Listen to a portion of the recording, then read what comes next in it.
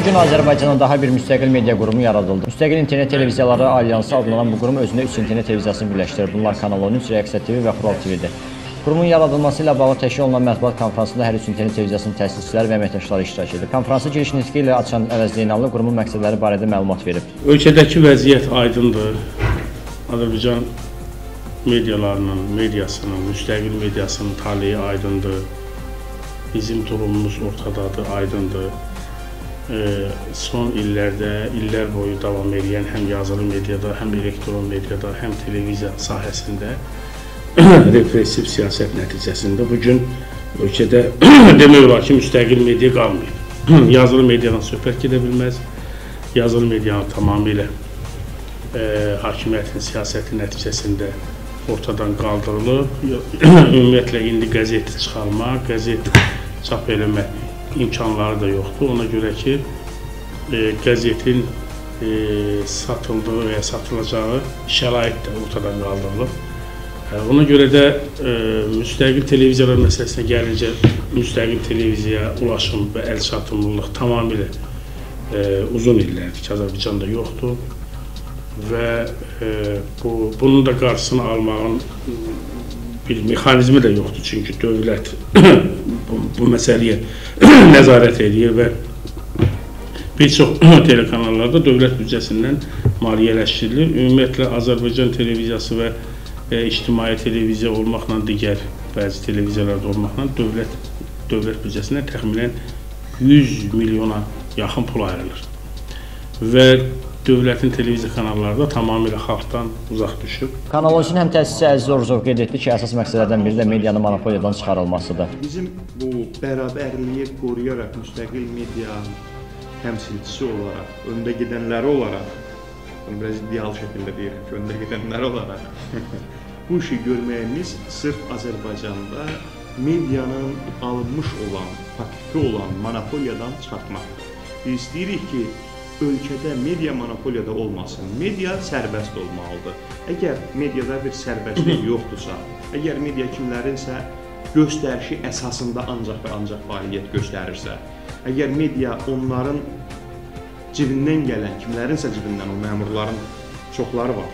Adını burada çəkdiniz və ya çəkmədiyiniz məmurların cibindən gələn pulun hesabına əgər durursa, yaşayırsa, burada e, Molla Nəsrəddindən bir lətifə gəldi yadıma düşdü ziyarətə gedir. Hamı deyir, "Molla mənə filan şey alıb gətirərsən, Molla mənə filan şey alıb gətirərsən." Sonra bir uşaq da gəlir, deyir, "Sən çaldın." Hə, deyir, "Ala bu 20 qəpiyi Molla mənə də bir jurnal alıb gətirərsən." Deyir, "Bala sən çaldın." Reaksiya TV-nin rəhbəri Zar Qərboğlu çıxışında qeyd etdi ki, dövlət tərəfindən maliyyələşən televiziyalardan fərqli olaraq müstəqil mətbuatı maliyyə imkanları çox zəifdir. Azərbaycanda bir hansı belə deyim, media qurumu yaranıbsa, əslində hökumətin dəstəyi ilə yaranıb. Onun da məqsədi əslində medianı monopoliyaya salmaq, fəaliyyətdən saxlamaq, yəni azad sözün qarşısını kəsmək bunu adla da demək olar, elə hamısı.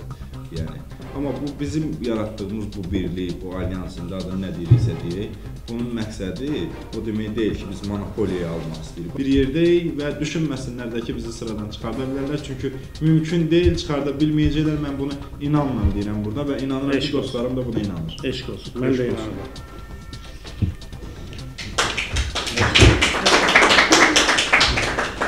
Mənə elə gəlir ki, İlham Əliyevin son dövrlərdə Azərbaycan Xalq Cəbhəsi müsavat hakimiyyətini tez-tez xatırlatması bizim 1992-93-cü illərdəki fəaliyyətimizlə yox, bugünkü fəaliyyətimizlə bağlıdır. Bunu Müsavat Partiyasının başqanı Arif Hacılı Azadlıq Radiosuna Prezident İlham Əliyevin oktyabrın 11-də Aşqabadda Azərbaycan Xalq Cəbhəsi hakimiyyəti ilə bağlı dediklərinə münasibət bildirərkən söyləyib. Arif Hacılı 1992-93-cü illərdə ərazi hakimiyyət və idarəetmə orqanları ilə iş üzrə dövlət müşaviri vəzifəsində çalışıb. 9 may bizim hakimiyyət dövrümüzdə bayram günü idi. 2-ci Dünya müharibəsində faşizm üzərində qələbə qazanılmasında Azərbaycanın Bakı neftinin mühüm rolu olub. Bu müharibədə 400 min civarında Azərbaycanlı həlak olub. Odur ki, bu qələbədə Azərbaycanın mühüm rolunu nəzərə alaraq bayram kimi qeyd olunması təbiidir, deyə Arif Hacılı bildirib.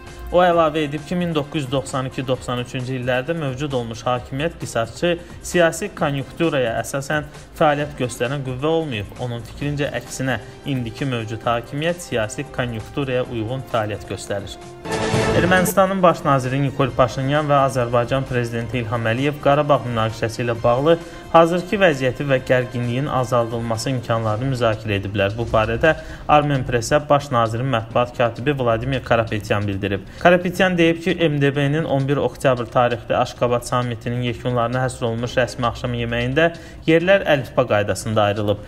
Əliyev və Paşinyan yan-yana oturublar və söhbət ediblər. Söhbət əsasən Qarabağ münaqişəsinin nizamlanması sahəsində cari vəziyyətə, gərginliyin azaldılması imkanlarına və gələcək addımlara həsr olunub.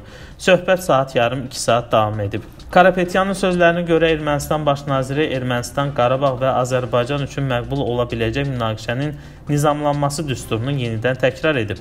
Əliyevin buna nə cavab verdiyini mətbuat katibi açıqlamayıb. Azərbaycan prezidentinin mətbuat katibi Azər Qasımov Deyaza Aşqabadda sammit çərçivəsində prezident İlham Əliyev və Ermənistanın baş naziri Nikol Paşinyan arasında təmas barədə informasiyanı şərh edib. Stat.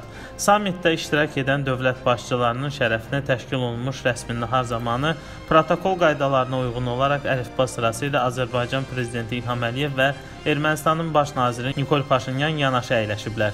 Təbii ki, orada təmas olub. Söhbət zamanı Ermənistan-Azərbaycan Dağlıq Qarabağ münaqişəsi müzakirə olunub. Statın sonu. Suriya ərazisində fəaliyyət göstərən və ermənilərdən təşkil olunan Nubar Ozanyan adlı terror qruplaşması Türkiyəyə qarşı müharibə elan edib. Yeni Avaz xəbər verir ki, açıqlama verən terrorçular Türkiyəyə qarşı bir sıra ittihamlar səsləndiriblər. Terrorçular bildiriblər ki, 1915-ci ildə Osmanlı dövləti erməniləri necə qırıbsa, indi də Türkiyə Suriya erməniləri, kürdləri və ərəbləri o cür qırmaq istəyir. Nubar Ozanyan adlı terror qruplaşması hər kəsi Türkiyəyə qarşı müharibəyə çağırıb.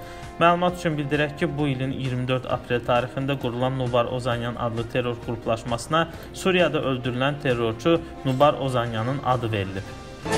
Fransa prezidenti Makron Türkiyənin Suriyadakı hücumlarından narahatlığını ifadə edib. Emmanuel Makron hesab edir ki, Türkiyənin Suriyadakı hərbi əməliyyatları İslam dövlətinin fəaliyyətinin yenidən canlanmasına səbəb ola bilər. Fransa prezidenti ofisinin oktyabrın 12-sində yaydığı məlumatda deyilir ki, Makron bu sözləri ABŞ prezidenti Donald Trumpla telefon danışığında bildirib. Makron hər şeydən əvvəl bölgədəki İslam dövlətinin yenidən canlanmasının qarşısını almaq və ABŞ-ın rəhbərlik etdiyi hərbi koalisiyanın Suriya və İraq ərazilərini IŞİD ekstremistlərindən geri almağa kömək edən Kürd qüvvələrini dəstəkləməyin vacibliyini vurğulayıb.